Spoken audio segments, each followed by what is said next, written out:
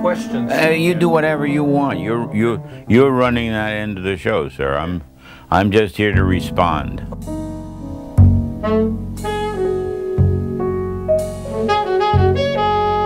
Way back in the primitive days I'm talking about, uh, there was no place where you could go and learn to be a record producer. You just you did it.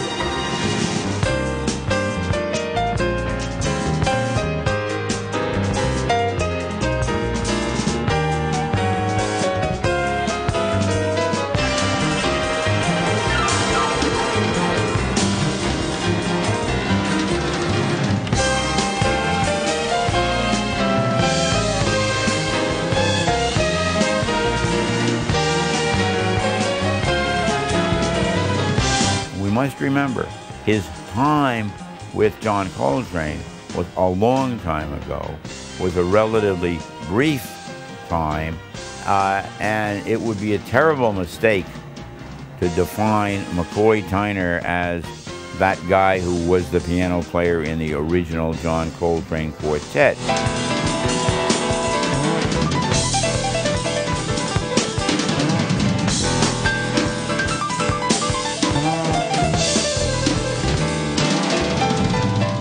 The thing that I have always been so impressed with in McCoy is that he used that.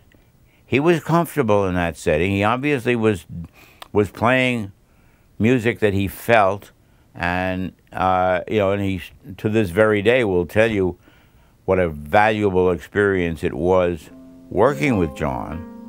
But he was he refused to allow himself to be defined, limited in any way by that.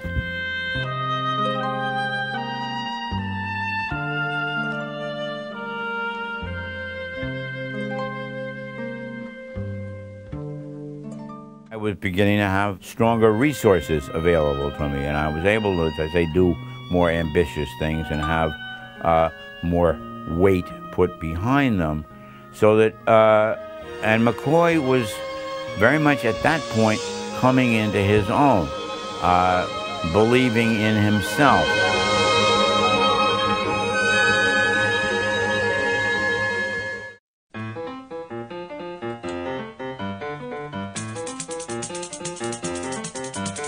There's a McCoy Tyner album that has a one session of it done with strings, but it's the first all here is the artist with strings.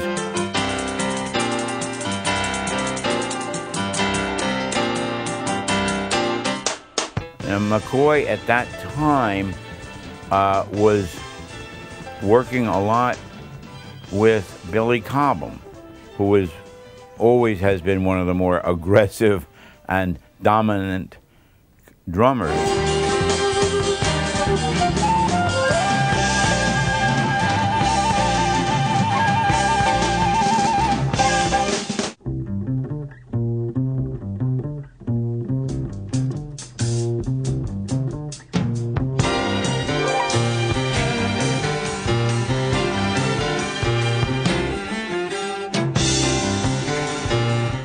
Were doing was 10 strings. That's the way to express you. You love an artist, he's selling records for you. What can I do nice for you?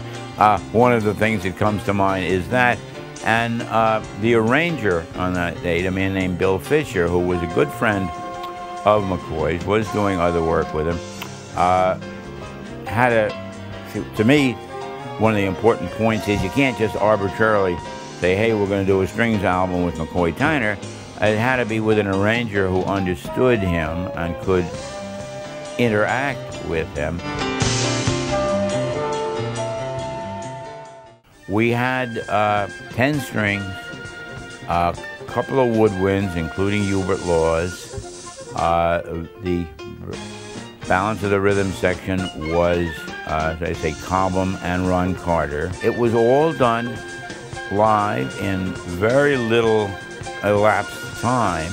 It was done in Fantasy Studio A, which is a big room, obviously, but uh, not, you know, it was, it was kind of straining at the seams.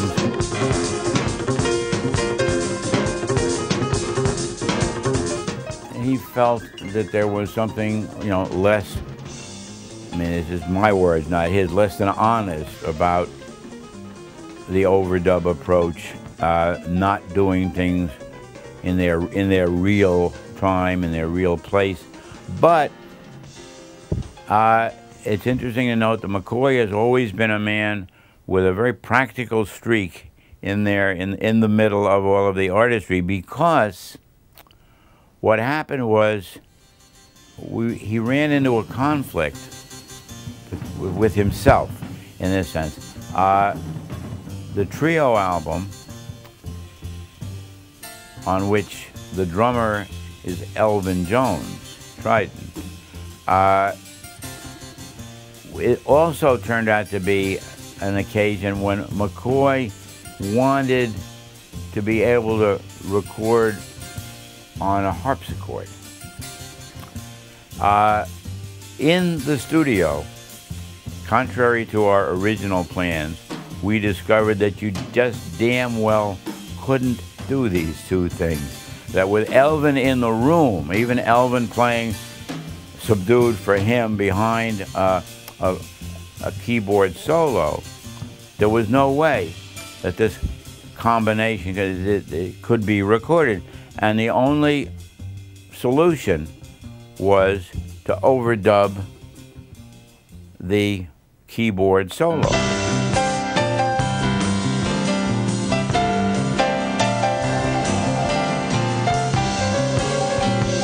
There was a certain amount of sort of local pride going on. You, uh, remember, that was done here in San Francisco, and it was uh, done. We didn't import except for oh, we imported, you know, key people like Hubert and Ron and such, but uh, all of the strings players were local.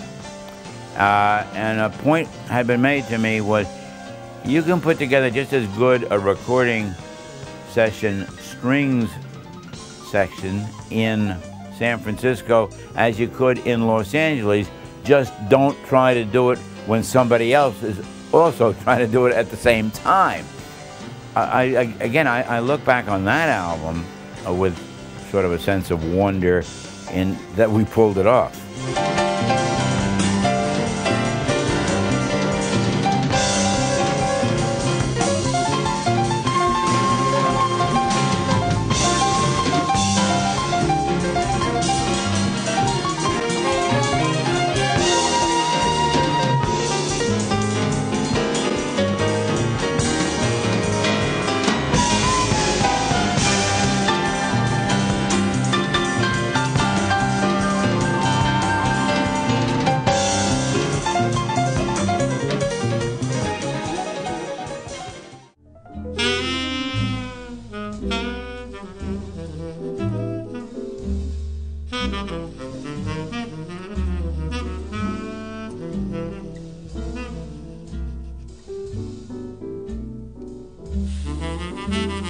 There he was around. We were working on doing this album. I got to know him slightly, and it occurred to me that the fact that, and you know, and he had, he was doing occasional recording. I think he did a couple of things for Capitol at that time.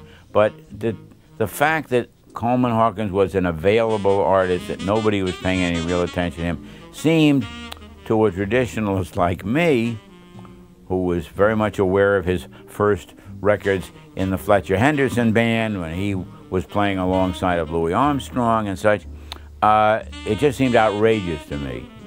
So I just simply said one afternoon to Coleman Hawkins, tell me if I were to give you your choice, I'd uh, let, let's do, if I were to say, let's do a small band day, and I'll get you anybody you want to play with you on it. Who would that be?